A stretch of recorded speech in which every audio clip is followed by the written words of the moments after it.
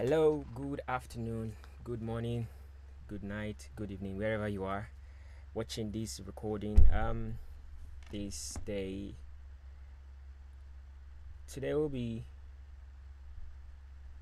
having a session on, on strings arrangement.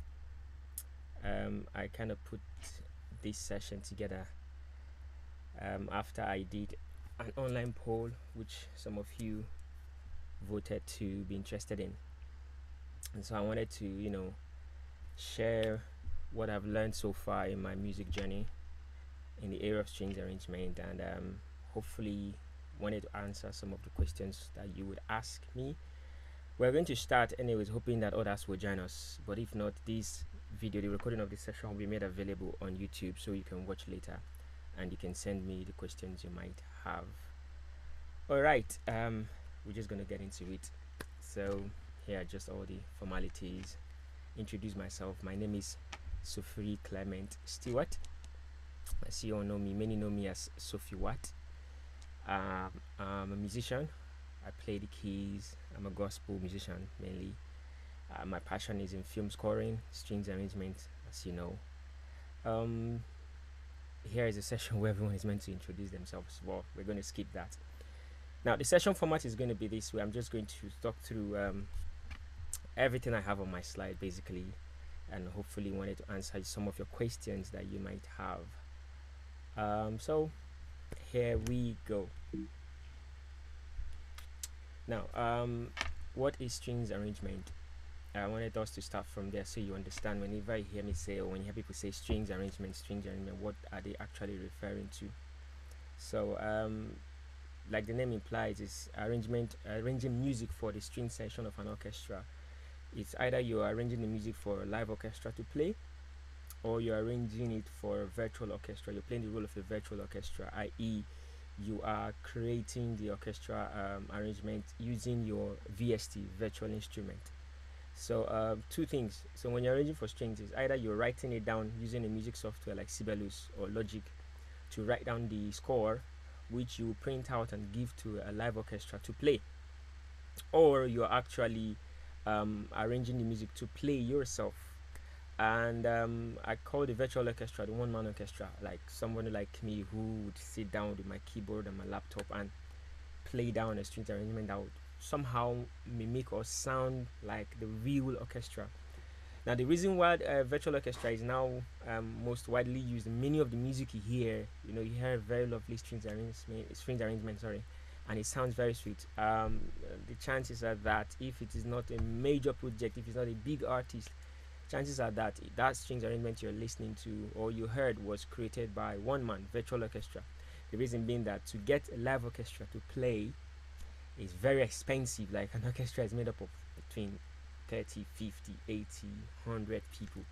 And these people charge a lot. So imagine having and then you're paying for the uh, studio sessions. You, you don't use small studios you use massive studios that can carry 100 people. Something like Abbey Road Studios or Air Studios.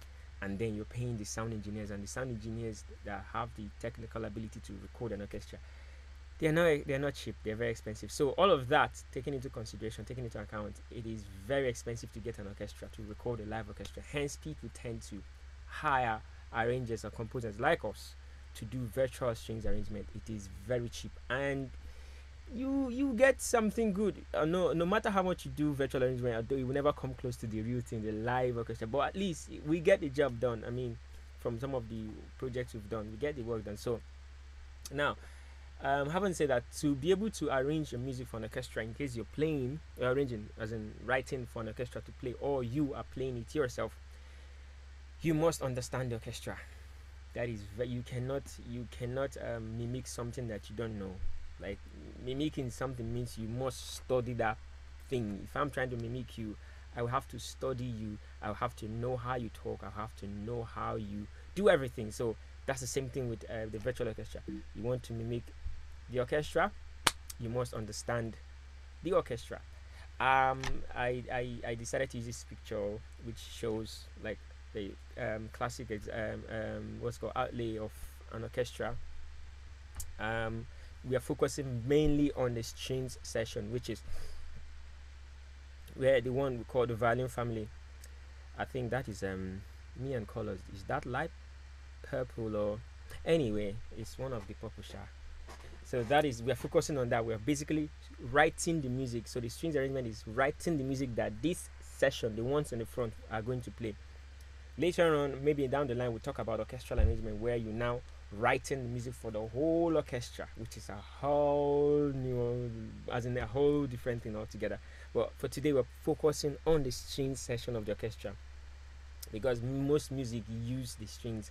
Not every music use a full orchestra, but the strings. I mean, even in church on Sunday, you're, you're you have like a singer will tell you, you're playing the piano, say add add strings, add add strings, add add strings to it. So strings music, strings is now become and as in it's become the bedrock, the, the foundation of many music you listen to. So that's what we're focusing on this um, uh, string session, and then later on in the future, we will um, begin to look into.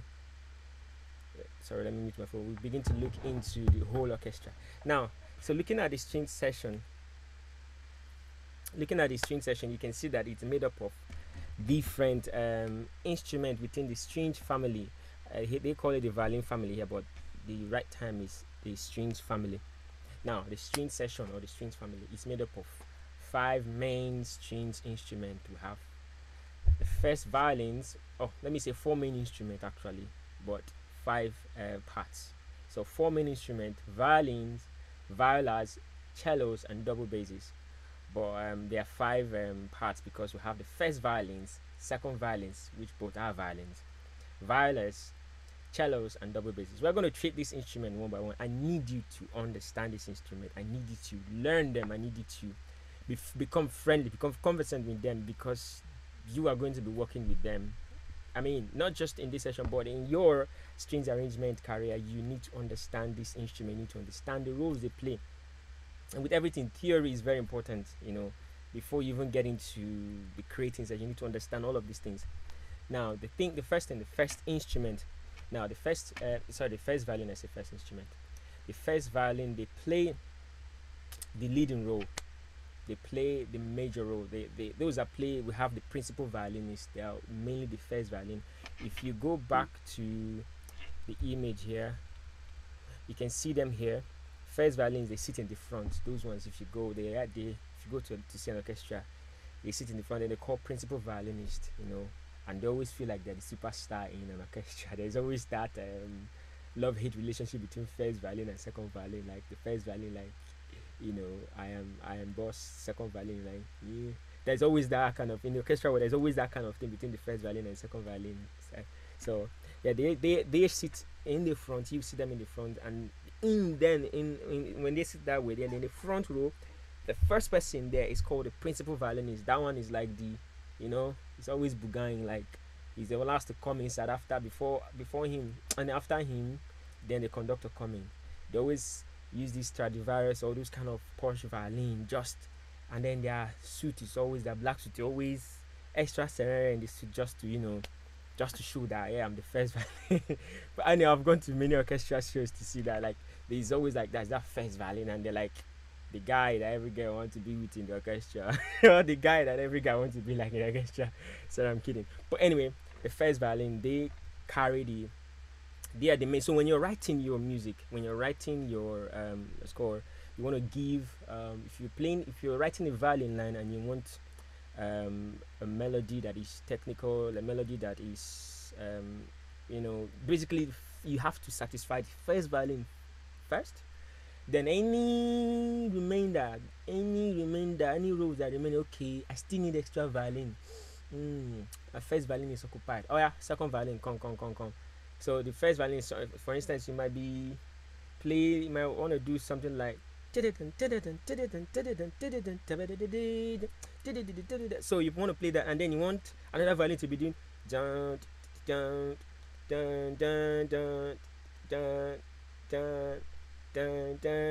So the prominent, the predominant uh, melody in this line that is a, that is one you want to give to the first violin. Oh yeah, first violin is still there. Now that is happening. You're like, okay, okay, I need that. Dun, dun, dun, dun. Oh, second violin, come, come, come, come, come. take this part. So basically, second violin is a pick up um, remaining parts that the first violin cannot cover. They support basically they play the supporting role. So when you're arranging for your orchestra, uh, I mean for your strings uh, session, the first violin, the, your first main um, line is taken by the first violin. Then the remainder is given to the second violin to support basically backup singers. so first violin, lead singers, second violin, backup singers. So like I've explained, they play a different pla- different parts. They, they they help they support the first violin. They come in and out. They just basically they cover the first violin. So and then violins are soprano voice of the strings family. Hence, you write their music on the treble clef, the G clef. So, in case you are arranging for a live orchestra to play, you must have this in mind to write the music of the violin in the treble clef. And when you're writing it, you would indicate if it's the, for the first violin or the second violin. So, you write this is music for the first violin and you put it outside here. You will see one ST violin, or some people use F, F uh, FST or FIRST violin. So you put that there, indicate that this is the music for the first violin, the music for the second violin. Now, in cases where it's not every arrangement that you have to use first and second violin, in cases where it is a simple thingy, a melody, simple arrangement, you can just have one violin. It's just basically your first violin. That's it, just that violin, and that will do the job. So when you're writing the music, you just write violins in the treble clef. So violins outside and then write the music. So we just know that every violin is playing that. There is no different music between the first and the cello music. First uh, violin and second violin. Everyone is playing the same thing. So you write the music of the violins on the treble clef. Now we go to violas. I know many people. I know I have female friends that answer the name viola. Right. So violas, the beat, um, they they they cover the midi. So violins are sopranos you know in our vocal arrangement you have soprano alto tenor bass. So the violas are the alto.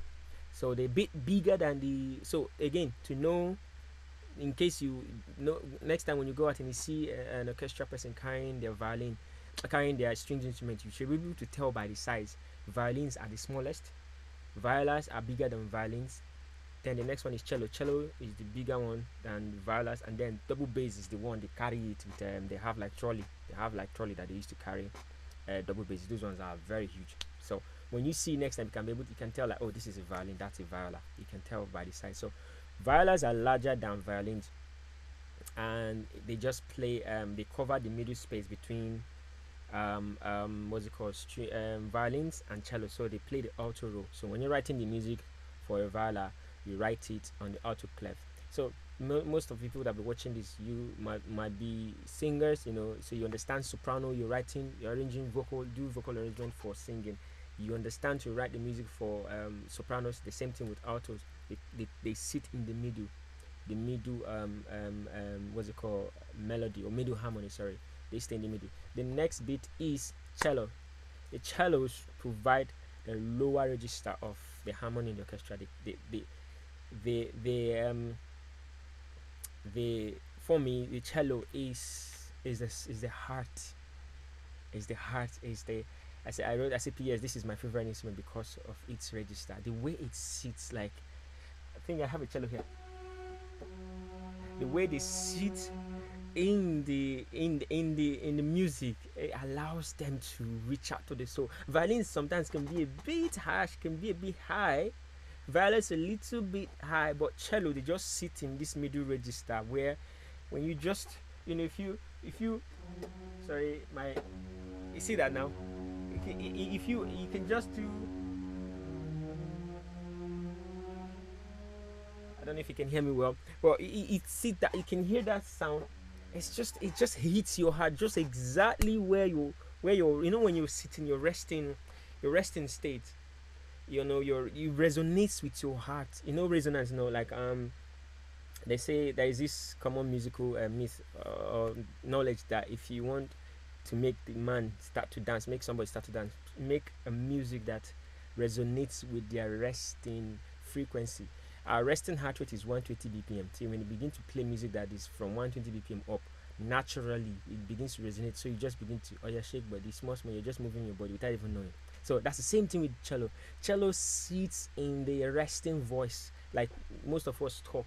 When you relax and talk, cello music, the register of cello is just around our normal talk. So it just or anytime you hear an orchestra, anytime you go and you hear that that that, that film that the music is just moving and it's just in that low register. It's not high, oh, it's not it's cello that is doing that thing to you and it's just i just love the cello it's one of my favorite um, string instruments i use it a lot to drive emotions so for me when i'm arranging i use the i use the violins to do the serene, violin and cello um uh, violas to do the extra serene and moving all of that violin introduces the melody uh, viola support the melody but when i want to emphasize the melody and drive it into your heart i always use the cello and it does the work it does it so um cellos are to be written on the tenor clef. They are the tenor uh, voicing of the family. So we have covered soprano, uh, violins as sopranos, violas as altos, cellos as tenor. Now we're going to the last one, the double basses.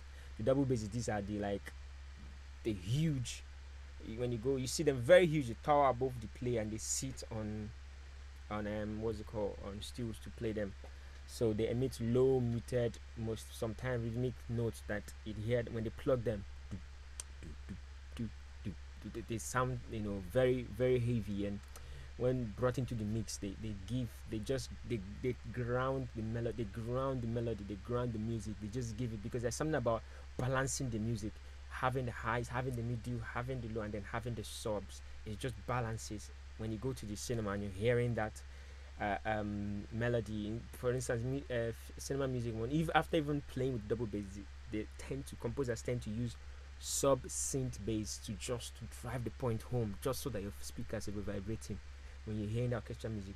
But in a real live orchestra, they don't use sub bass; they just use the double basses just to drive the point home. It is that it, it forms a stable foundation over which the rest of the orchestra notes can resound. They just they form the foundation and they they're written on the bass clef, which is the F clef now I, I brought this to show you the different clefs I was talking about this is the treble clef or the G clef this is the bass clef or the F clef this is alto clef this middle line is the C line by the way is the middle C and this is the tenor clef just um, let have a look at these look at them you know when you are writing their music for instance remember when I told you if you're writing for first violin you come here and you write your 1 ST violins, you understand? Or V1 VI in your software, Sibelius or Logic. So you have VI and then do the second one VII. So first violin, second violin, and then the next that will come will be the alto. The next that will follow will be the tenor, and then the bass will be at the end, the last. So you have them like this arranged one on top of another in your music sheets. So yeah.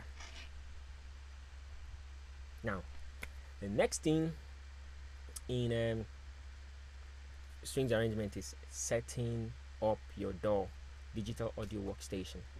You know, have the picture of the orchestra in mind, like I always say. Now, violins um, should be panned left. If you remember, we'll go back to that picture again.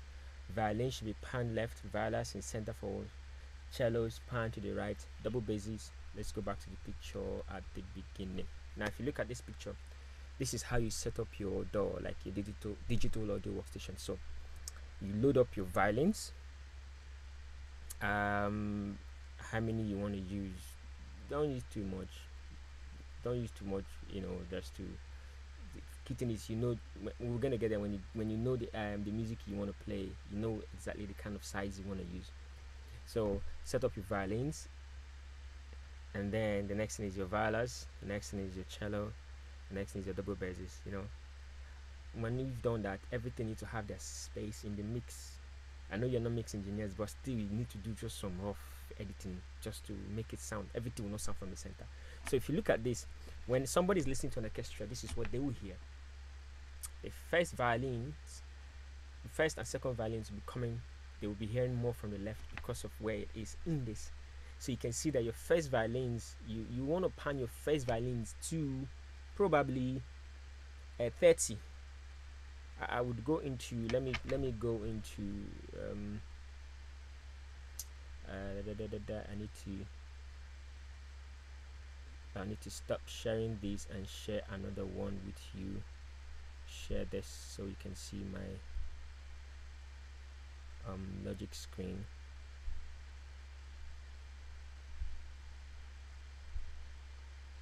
Great. So this is my um, this is my orchestra uh, this is my virtual orchestra. Call it Movensonus Symphonic Orchestra. So this is my orchestra setup.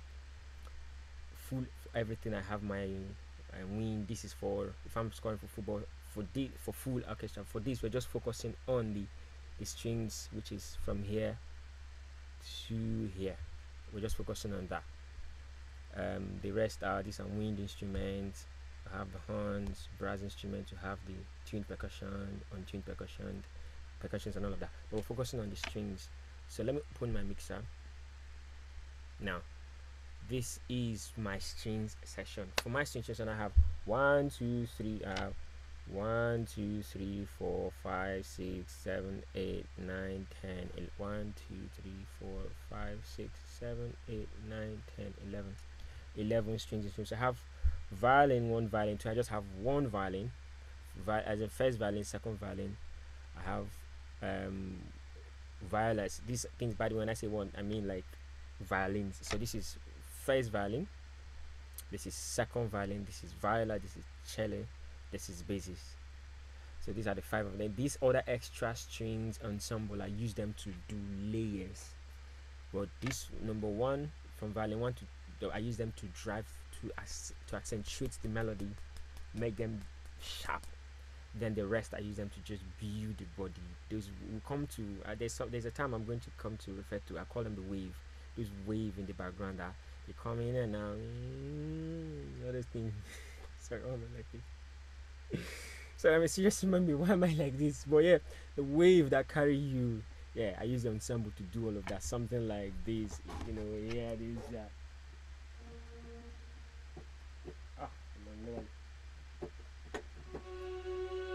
um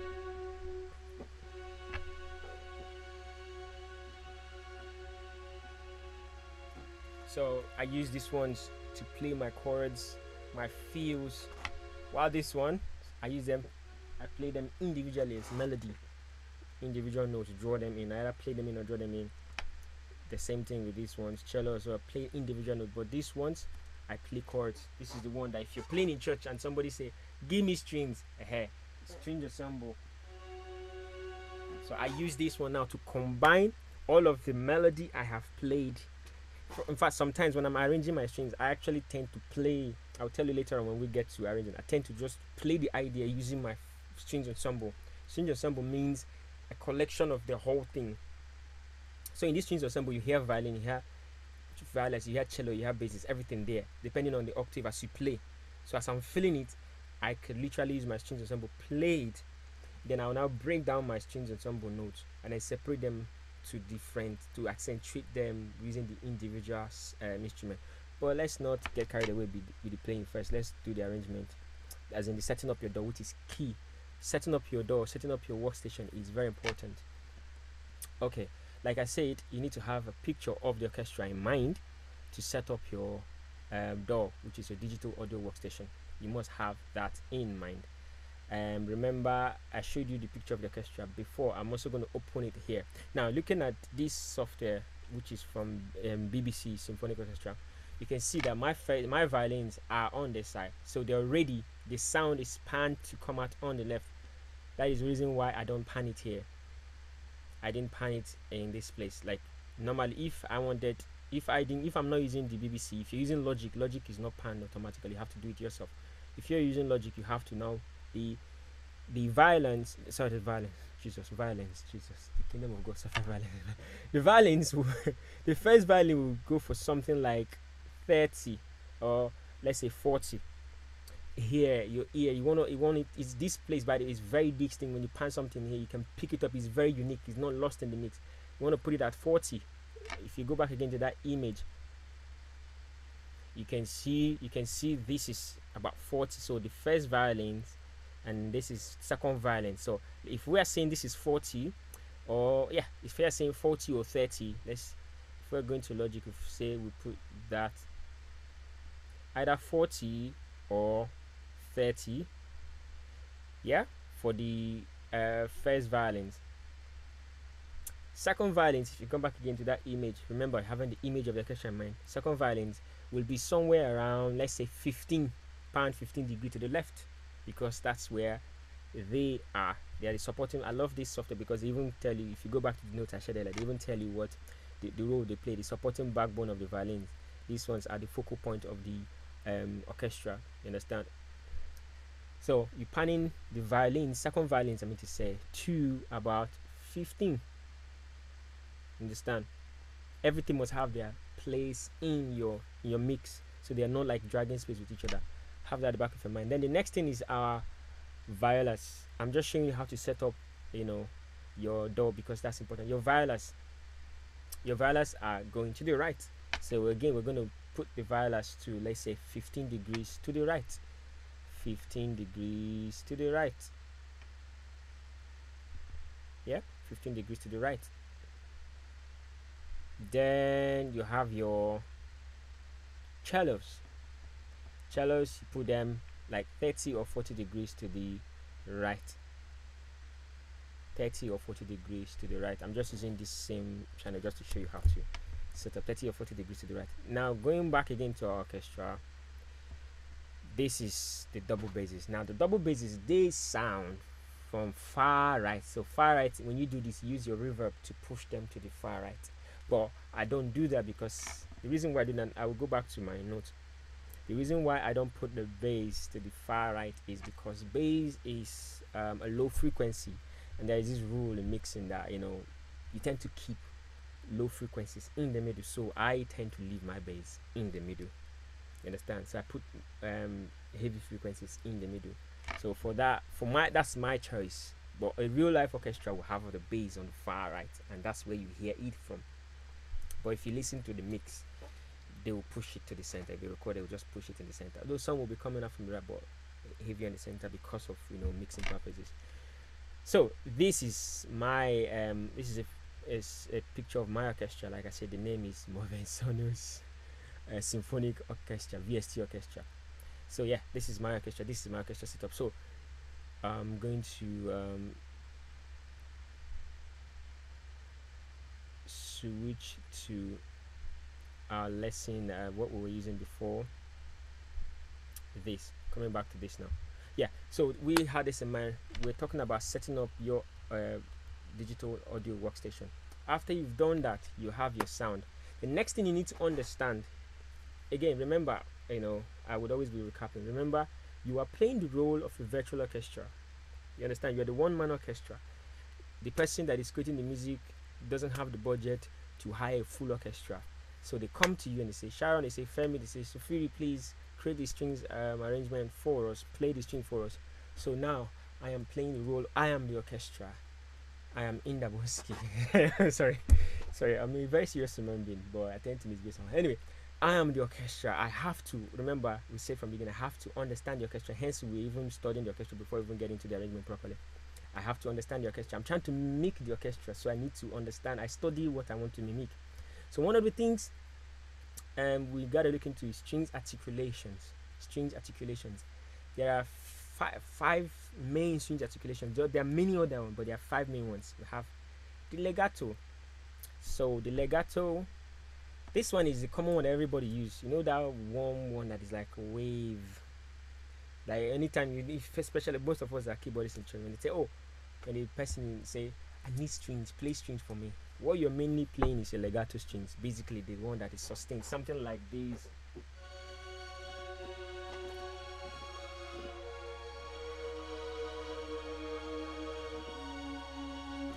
That is a legato strings it's sustained one note is sustained to the other.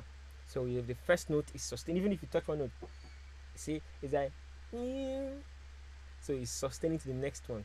Now staccato staccato they're sharp they're separated I use this a lot for emphasis, for action, for creating rhythm. Like, um, I'll play some of some. If we have time, I'll play some of the works I've done, like to show, to just give you an example of each of these instruments. Um, pizzicato again. Is pizzicato means pluck. pizzicato pluck when you hear the thing it means strings that is plucked it also use is we use it to create rhythm as well as harmonics above staccato so sometimes um, I, I, um, when I play staccato strings I tend to use a pizzicato string just to layer over the staccato to give it harmonics to just give it that feel like the score that I did for this Bridgerton competition I used a combination of that when you listen above you hear the um, pizzicato a lot of times when you when you watch movies especially anticipation or uh, or uh, um, creating curiosity, especially for kids movies. Listen to children movies; they use pizzicato a lot. Bang, bang, bang, bang. It sounds. I'll show you. If very plugged, I'll, I'll, I'll, play one for you. I'll go when I go back to my logic.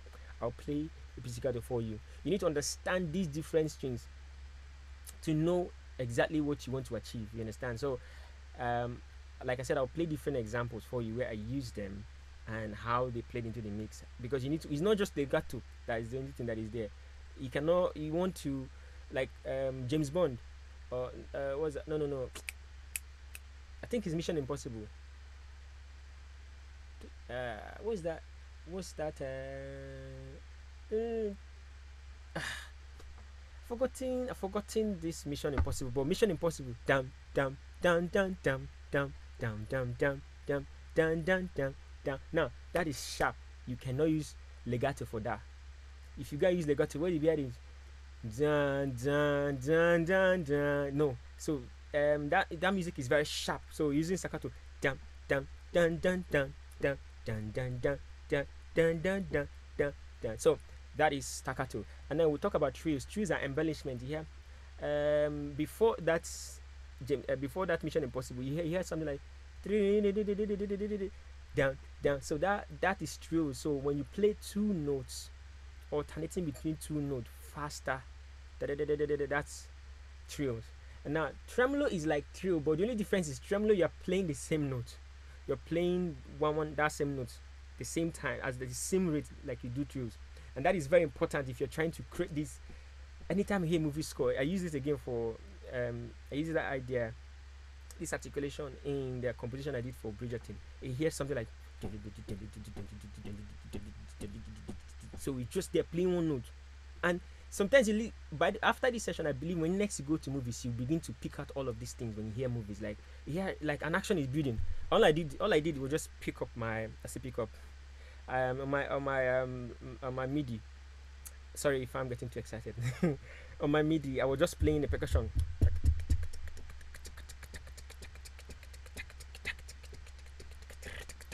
just that percussion alone, and then I play my tremolo just all like one note. That's that that that's that is done. That scene, that movie scene. You already you already ah, what's about to happen? What's about to happen? One note, my percussion, and I'm just some and then I'll just bring in my pizzicato and then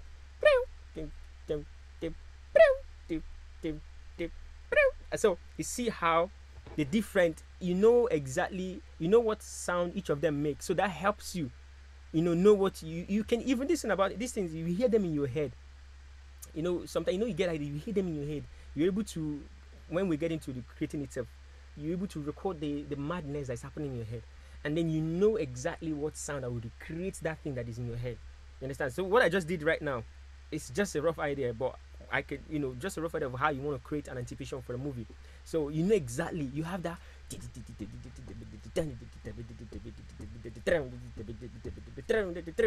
ah you have that in your head. And like, ah how do I make it happen? If you don't know your strings articulation and you go and stay with legato ah that which is the common one you will stay there and you will try it for till Jesus come you will not get that sound.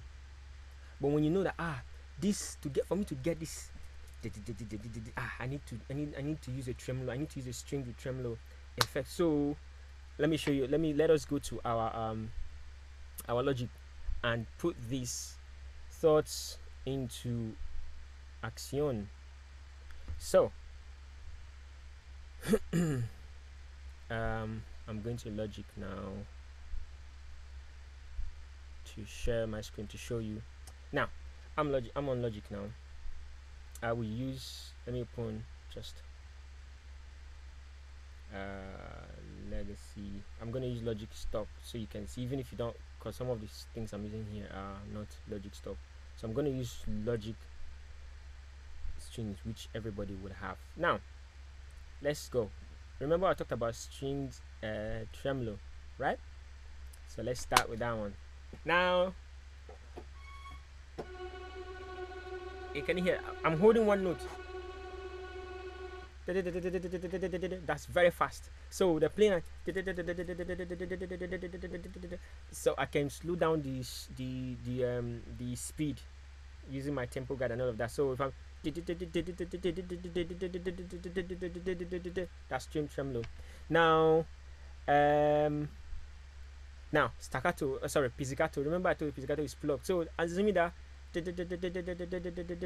know let's actually see if we can build something with this. Just create a rough idea. Although the tempo let's do something uh,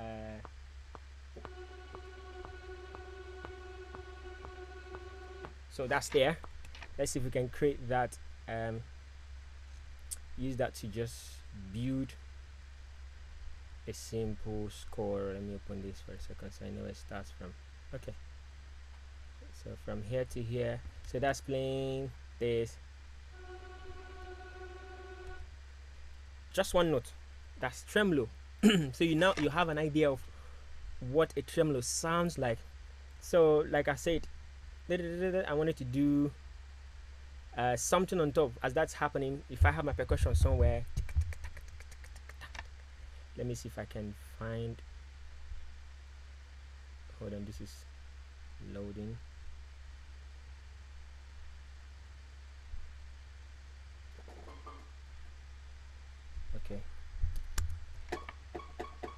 so that's happening somewhere. Let me see if i can find i know this is not film scoring but just give you an idea of what they sound like and what role they can play for you if you understand.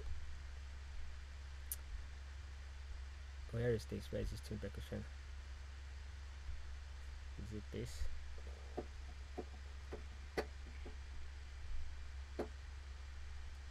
Ah, can't find let me use it. Coming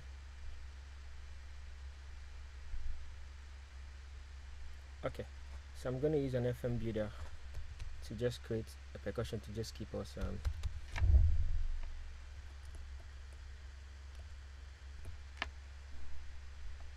just give us like a hint of you know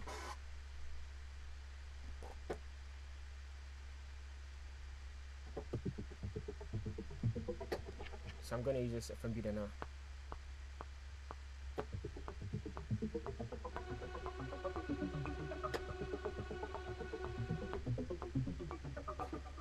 so that's just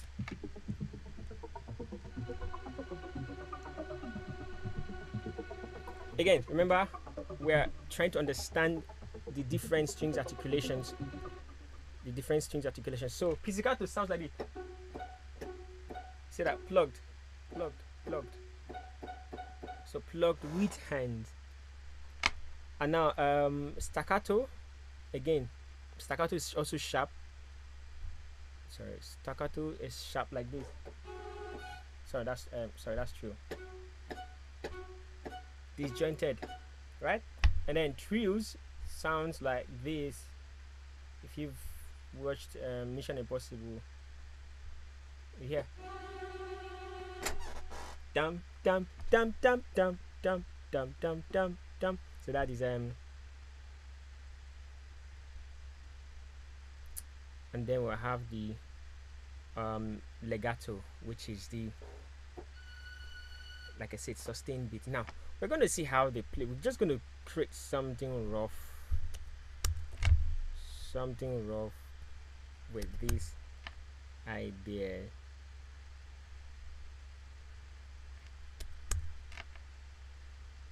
So I it wrong I'm going to create something rough with these eye there and just so you see how they all have different roles they play in the articulation so I'm going to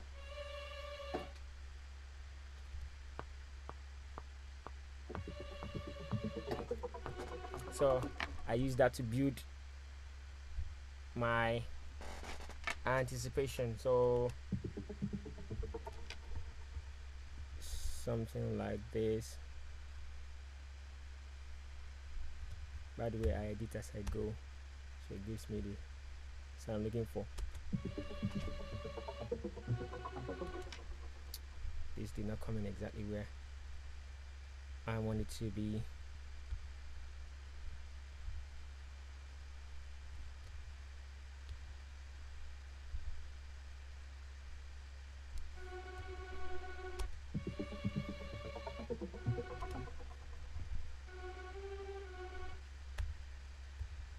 This one's are for later, but anyway.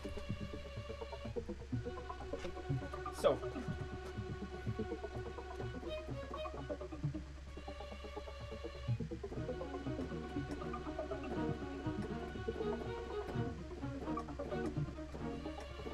So that's my staccato by the way.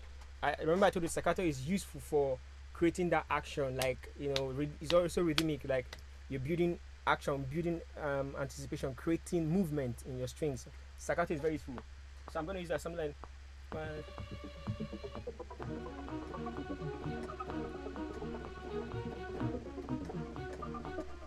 so just an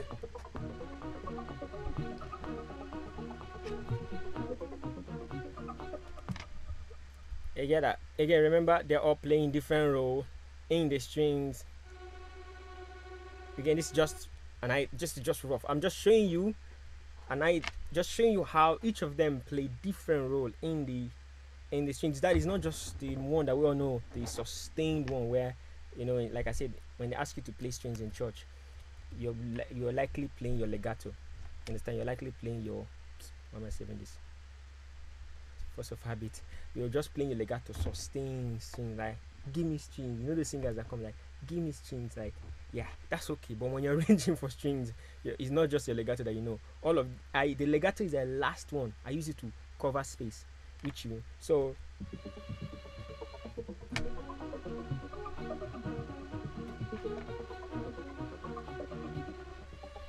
so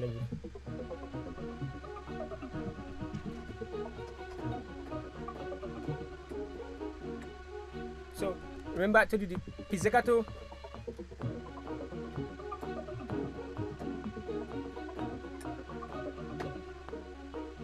So I don't know if you heard that. I'm gonna do that one more time.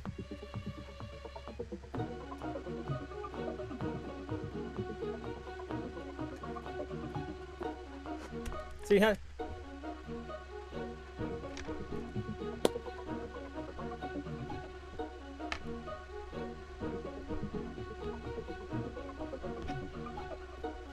So now, okay, let me just add the hallelujah, which is the legato now, which everybody knows. So here's something like this.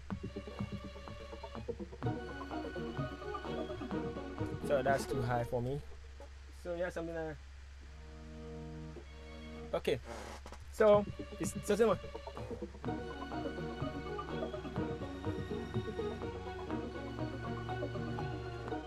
So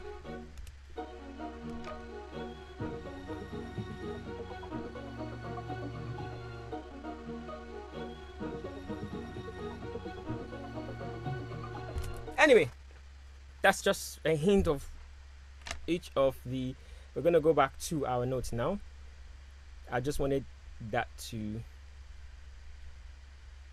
i just wanted to show example of um, what each of them sound like each of the articulations because you need to understand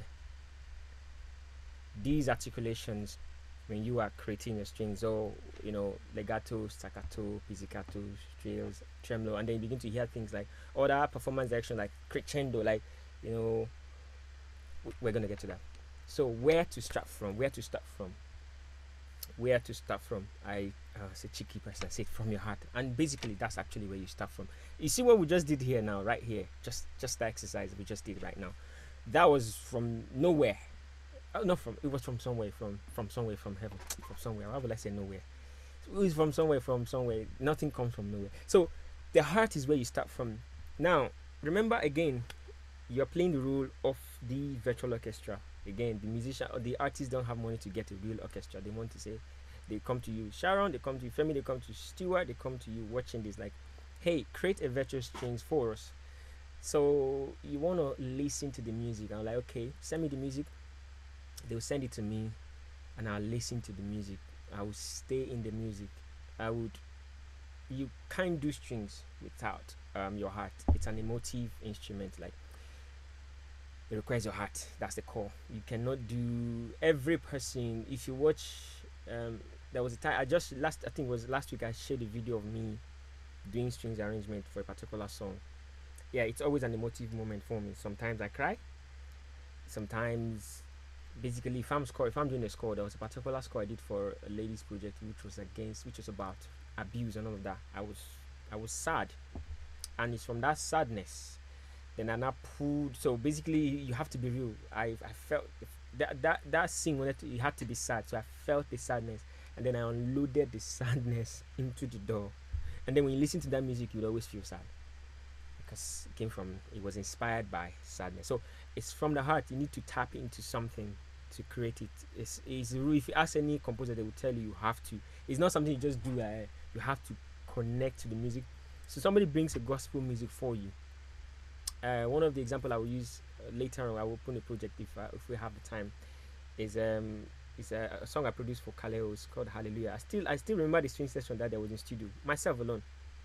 I was listening to the sound and they the the, the, the, the um the inspiration behind the music is just about you know not so not hallelujah sorry uh, the glory the glory.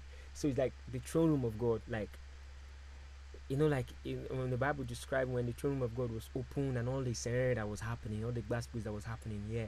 So imagine you trying to interpret. So this is this that's what you do. It's a conversation. You're trying to just like the lyrics is the singer is singing you want to interpret the music with strings. So uh, the glory. Oh, your glory is in this place. Oh, Lord, that's a song. The strings need to explain to the listener that the glory of God is in this place. What does the glory of God sound like from the strings perspective? That is what you're thinking about. Again, that is one example of a song. Another song could be when I did for Tag Praise was um, Miracles. So miracles, atmosphere miracles is coming, coming my way. What does miracles sound like? if you want to speak with the language of the strings that's what you're thinking about so you listen to the music you understand the music you understand the vision behind the music. Like somebody like Hans Zimmer when he's composing for a film he works close with the music with the film director the film producer. Like for instance when he works with Christopher Nolan they send he will send him the script.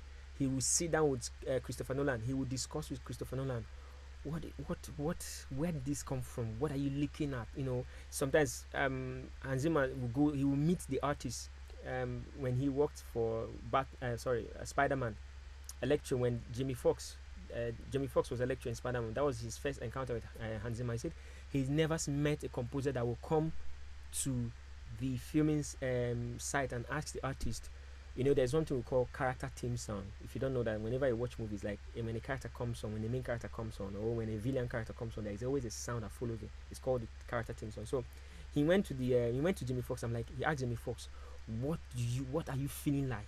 He was recorded. He recorded the voice note. What are you feeling? Describe what you want to feel as an electro. You know, as a villain, what do you want to feel to get into character? Jimmy Fox described something to him, and then Hans Zimmer went home, and then came back the following day then gave Jamie Foxx headphones. Jamie Foxx said that sound, that sound got him into playing electro. Like and he said, he got me, and that's exactly what it is. So you you want to understand the project. You understand the project itself. You, once you understand the project, you begin to listen out for space. You begin to like listen out for the melody because as the um, strings arranger, you are not is not you're not coming to steal somebody else's show. You're coming to amplify the music. So you are drawing from the thread of the music like okay i hear this melody. Ah this melody is nice. I hear this melody here.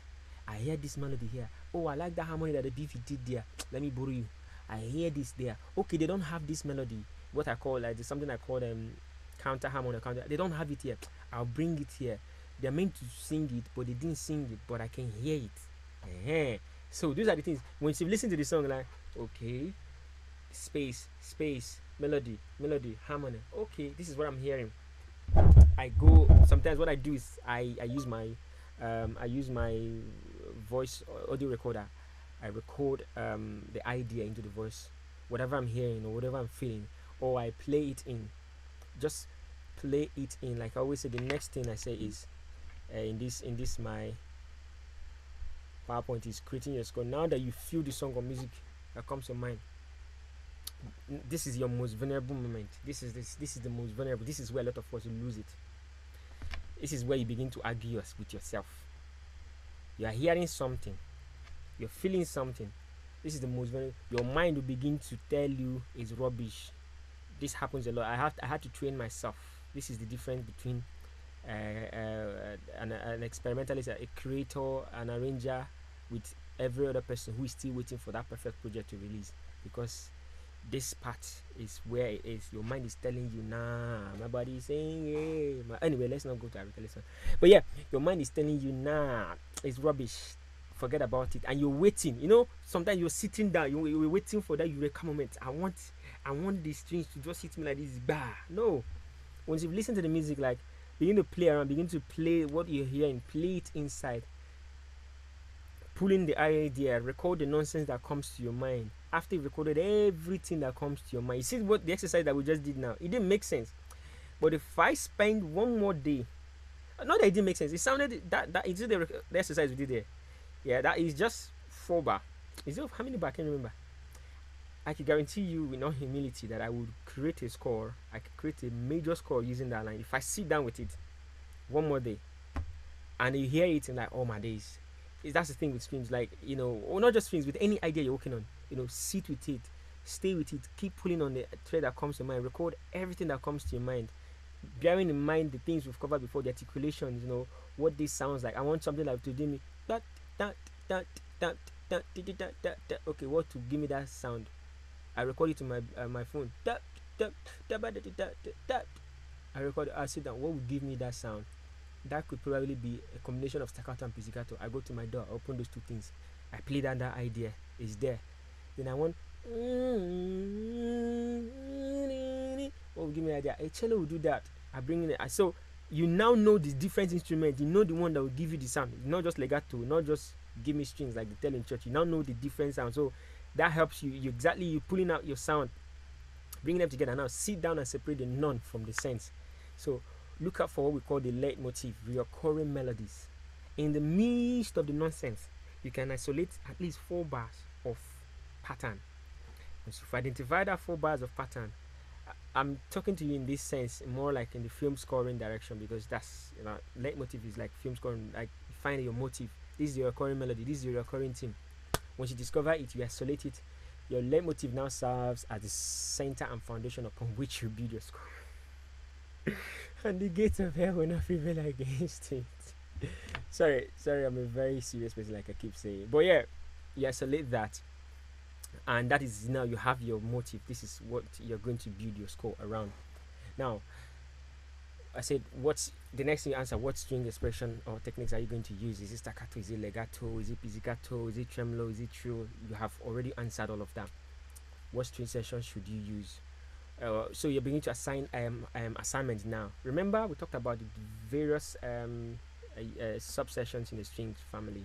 First violin, second violin, vi- uh, violas, cello, and double basses. So now, what string section should do what? How you're assigning your role. You know, you are the conductor now. You are deciding which to play. Who, what is going to play what. So begin I say, first violin, I want you to play this part of the line. Second violin, I want you to play this.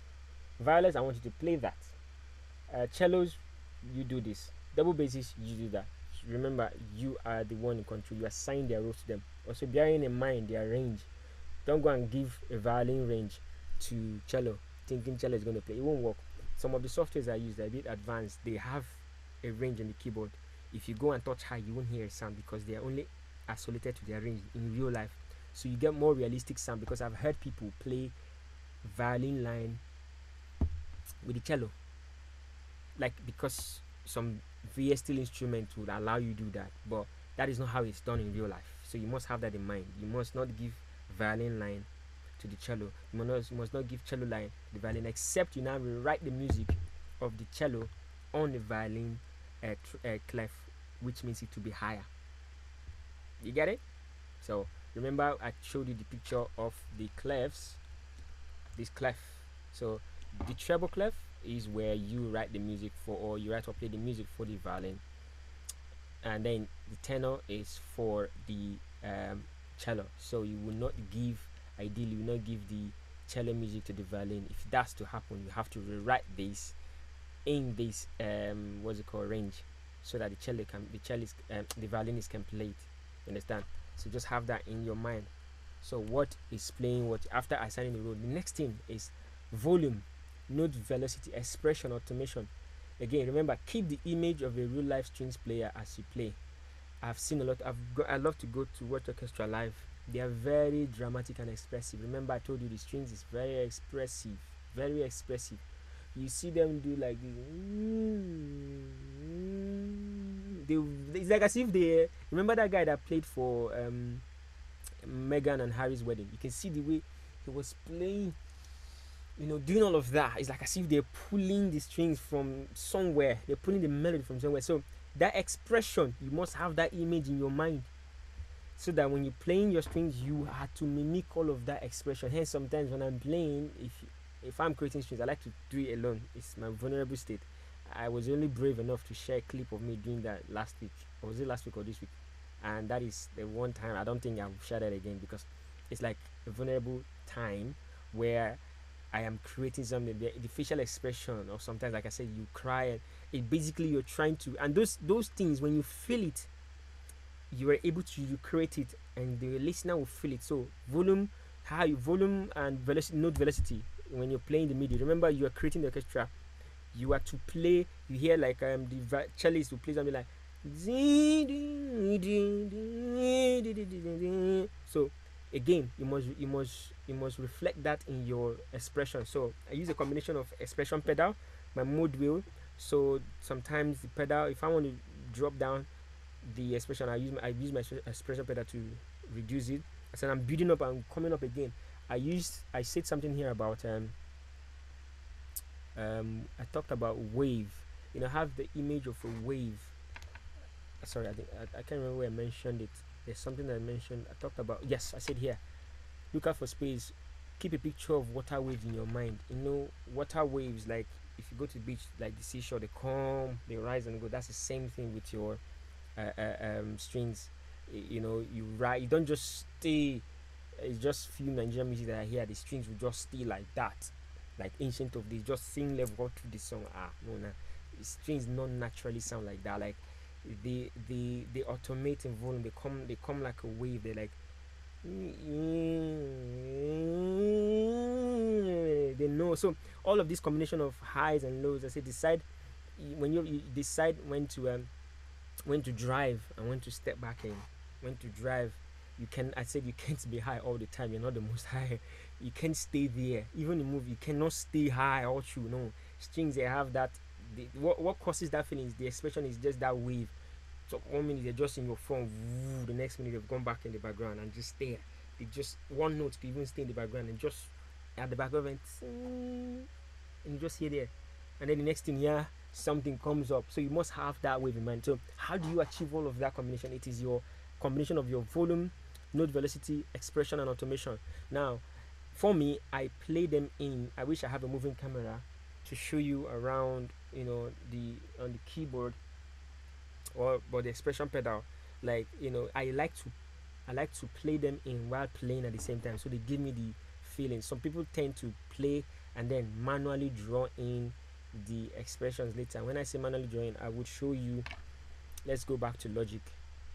Um, let's go back to logic how people can manually join expression which i don't encourage because it takes a whole lot of time to do that. So for me i like to just play it in as i'm going. So the composition that we did this one if you look at it there was no i did not use a sustain pedal i did not use any expression pedal. So so this is it. This is the midi file which is where i come to edit this doesn't have any expression how do you click and find out that this is your expression place? Yeah click on this midi drone. Now if you see this is at the moment showing me the note velocities which is different. Remember i talked about note velocities. It helps you this one is is lower is 49 yeah the velocity is 49 this is 84 they are different. So combination of these velocities will help you. When you want to do slow you when you want to do low velocity you touch the note very soft. When you want to increase velocity you depress it more. But also after doing that you can also come and manually edit the velocity here. Now another thing you can edit is the um, expression volume panorama modulation all these things full control. Ed these are other things that you can edit. Let us edit the volume yeah assuming I did not have my expression pedal to draw in the volume I could come in now after having played it and then I'll do something like sorry something like oh I need to change this to uh da da da da da. Curve 2 let me see if that work. That didn't work I need to manually draw in my volume like this. Let me change it back to drawing pencil.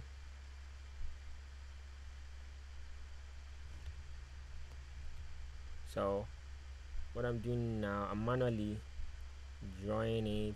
So all of this when the, this is down the volume comes down when I do it goes up. So combination of all of this will give you the up and down wavy kind of feel so normally I don't draw them in. I use my expression pedal to play because I mean it's a long work. Imagine I'm composing for like even one minute song then begin to draw the automation. Ah, that's a long thing now. I use my expression pedal to just play it in.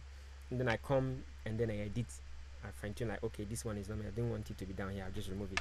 So it's drawn in. Just this is like an idea of our volume expression. Another thing you can control is the expression. The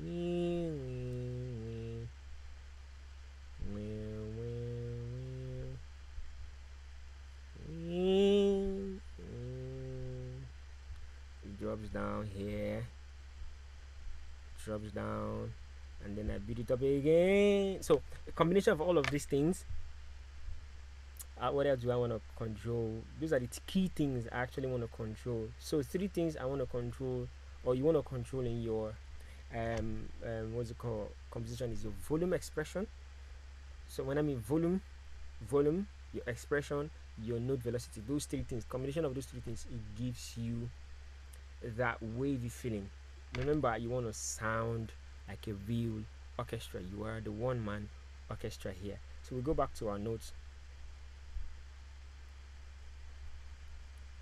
We go back to our note. We're almost um I'm almost done here in this.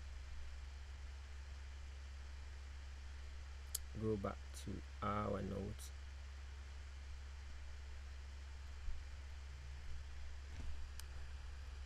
Yeah, now remember I said you, you have to keep a, an understanding when you want to go high when you want to draw back in the background a combination of all these things would help you you know create something. And now editing and mixing once you're playing all you have in mind you have to sit back listen over to fine tune remove irrelevant beats. Volume blending is necessary so your orchestra will sound as one. Your goal is to sound as real as possible to a virtual to a real orchestra as much as possible. So you're blending in. Again remember you're trying to mimic the orchestra. The lesson is connected from the first one. Understand the orchestra. Understand what you're trying to mimic because that is what you're doing. I am trying to arrange the strings for the orchestra. It's either i'm writing it for the orchestra to play or i am playing it with my virtual instrument which is the second one is more likely what you'll be doing like playing with your virtual instrument. So i want to sound like the real orchestra. So i must understand who i am trying to mimic. You understand the various orchestra. Like if you go from this lesson today, forget about um, creating the melody and all of that. If you go from this lesson and you go study the orchestra and you understand the orchestra, understand the instrument and what roles they play, yeah, you're fine. Melody will come to you. Melody is not hard. Understanding orchestra, understanding articulation, understanding the role and the sound of each of them, knowing that if I want to, if this melody comes to my mind, you can tell yourself, this is the part of the orchestra that should play that you're good to go. Your orchestra, you just see that your arrangement to be different. In fact, you can go back to all of those composition you did before with your legato and just rethink them, but with the with the image of the orchestra in mind. I said, okay, this this thing I did now with legato. You know what? I could have actually pushed these notes and given to the violin to play, given this one to the cello, given, and you just see, just doing that alone your this thing will just clean up and then you begin to fine tune your expression and volume blending once you do that you just realize that oh my days your arrangement sounds so much more better. Okay so this part i wanted to i want to show you example of the things i've done and you know what um, technique I use as it's CG Smile typical example of accompanying the melody trumpet solo to T like a wave. Ah if logic would behave itself for me to open for me to open it if logic would behave itself for me to open that particular project and show you.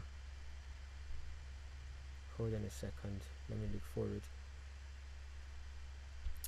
Um, CG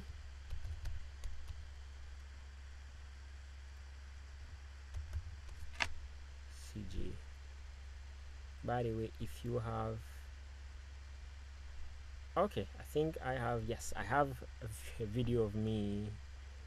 I am going to share my screen with you now. If you have a question be preparing it for those that want to ask questions. So this I did um I did the behind the scene of the arrangement. So I'm going to play this. The key thing I want to pick up from is um uh what's it called? Um the way the strings this is more like I did a legato for this particular one now. Listen to this music is a leg I this I listen to it like okay I need legato for this one. I need legato for this one. I should not move mad. Just there's something we call gumbo I need to follow the music. So I that's exactly what I did here. So listen to this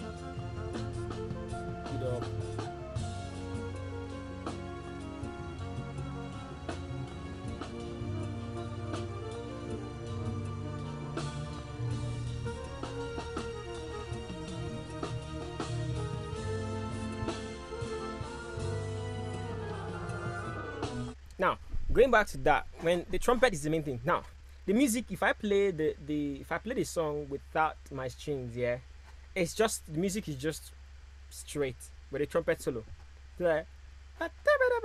So, I, I, listen to the trumpet and like ah it was like i don't know if you know what they call um trading but this was some sort of a trading. I will we play it again. We're i'm conversing with the trumpet. So i pulled my i listened to the trumpet. Ah the trumpet i say and then he went. I said, okay, we're going up, and then I bring it down again. So if you watch, if you watch it again, you see the, you can see, you can see the the expression by the, the volume expression. This one is the um, a sustained pedal expression. If I open the page, I will show you many many expressions that was happening there. The way they will they will go up, you can see that at point in time the string just it was just it was swelling up, swelling up, swelling, and then it dropped down again. You can also see the note velocity. Let's go back again. Watch out for all of that. I hold myself.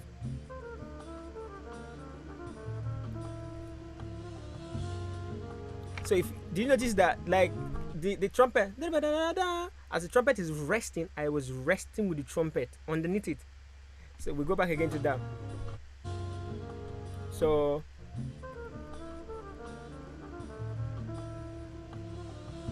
together. Again. I drop down. And then I now like a Savannah Buga. Swelled up in the again.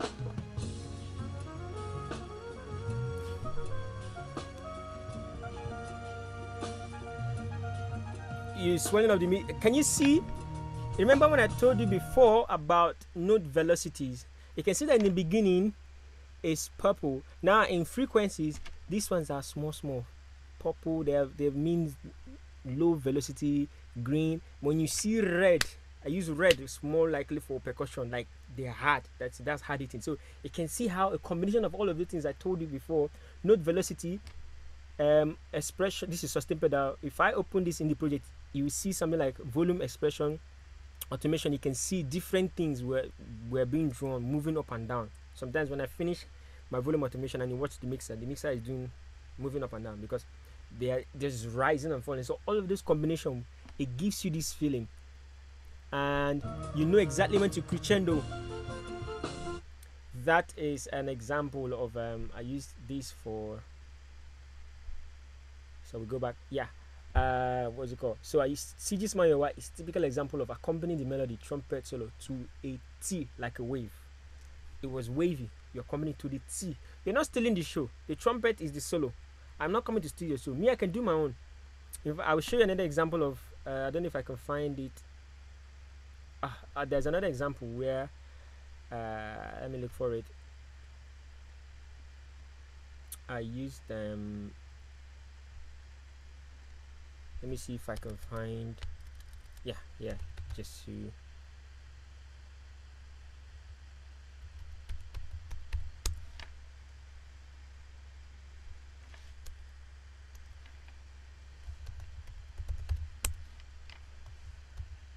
sorry I just wanted to challenge where can I find it?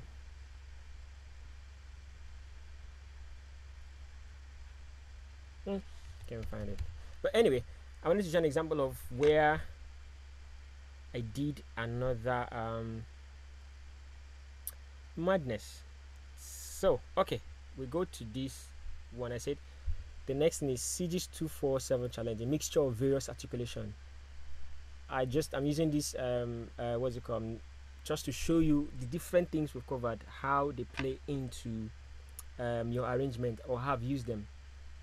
Mixture of so this one now.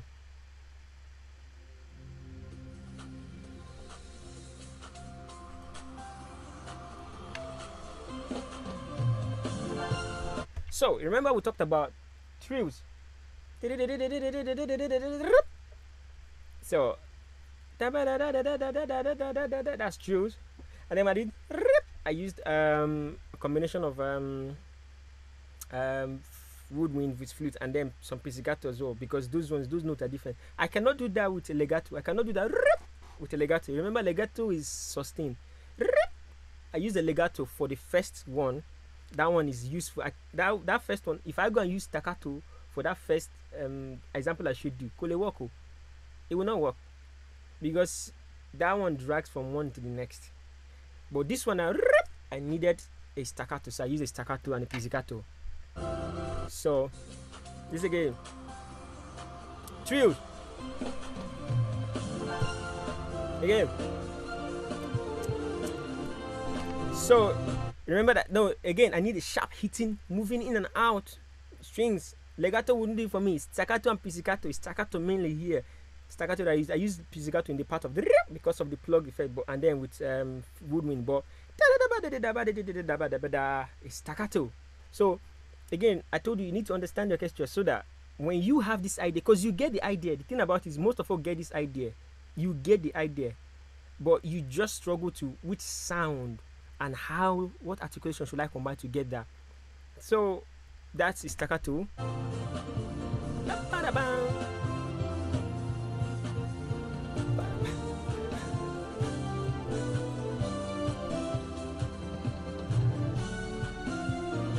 Also in the background if you hear you can hear my legato is still also they just warming the just giving the body. But the hard hitting part is staccato and woodwinds understand and hits. So again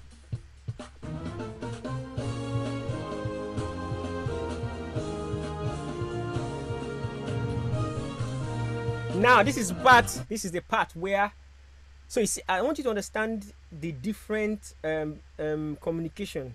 All this one now, the first violin is just the moving, moving mad, doing playing staccato. The the strings ensemble, the legato has been in the background, just minding the business. But now, if I'm the conductor of this my virtual orchestra now, I'm signaling to the second violins, the ones that are playing the sustain chord. That oh yeah, legato, it's your turn now to shine. Now watch this.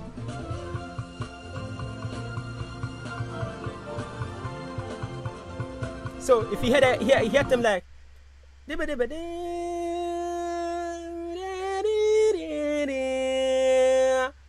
That is the second violin is having their moment now to shine, playing the legato. But at the same time, the first violin is also moving mad. The first violin, they are doing their thing above together. So you know, I, I find orchestra to be very interesting because orchestra is hundred, about fifty to hundred musicians playing, and it's not madness. It's making sense because everybody has their place. Let's go back again to that. I use this example because a lot of a lot of things were happening. So, so all this while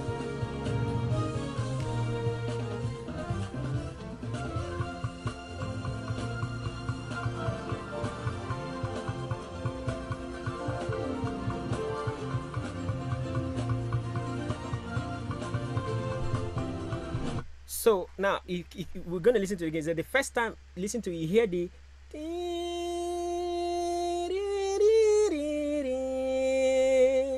that is the legato doing its work. But above that, you will hear this madness. So now let's listen to the staccatos now.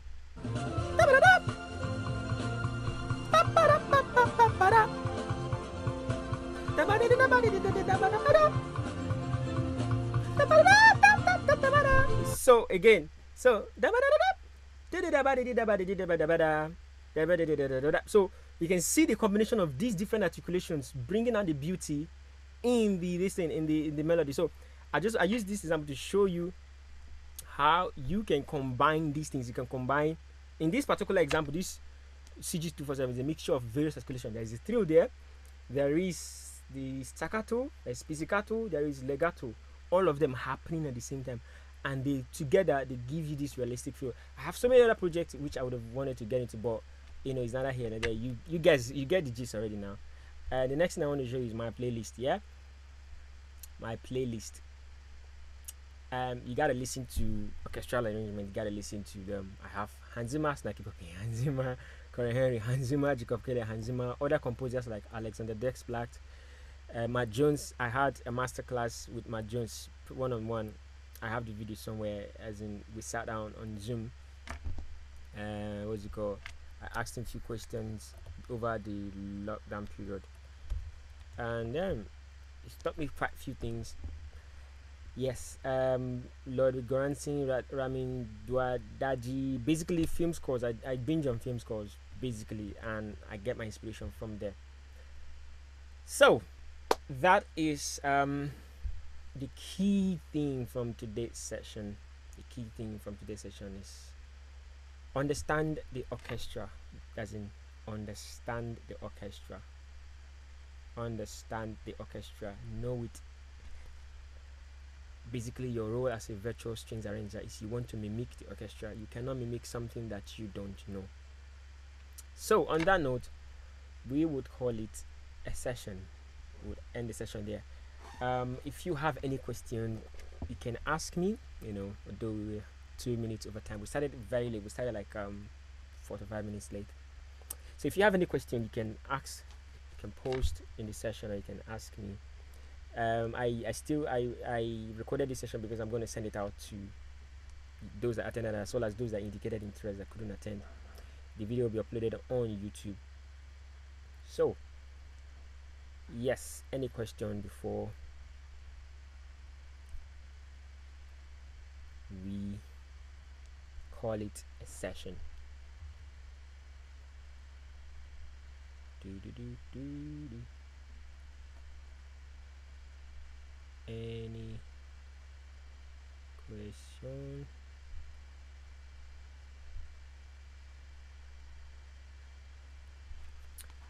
If you have any question now is the time. In the absence of questions we will call it a day i will be sending out this link to everybody and i'm looking for us to have another session where i'm looking at the 17th of september um, I will send out links, and if you're interested, also sign up for that one. But for that session, I need I'm giving people assignment. I'm giving those that attended and as well as those that watched this for the next session. The assignment to be for you to arrange a strings session for any music of choice. Pick any music, one minute, make it one minute. We're using the whole technique that we talked about today. You know, create it and bring it down to the next session, and we will break it down, go through it together. So before I end this session, do you have any question? Did you bring any question for me? Sharon, Femi?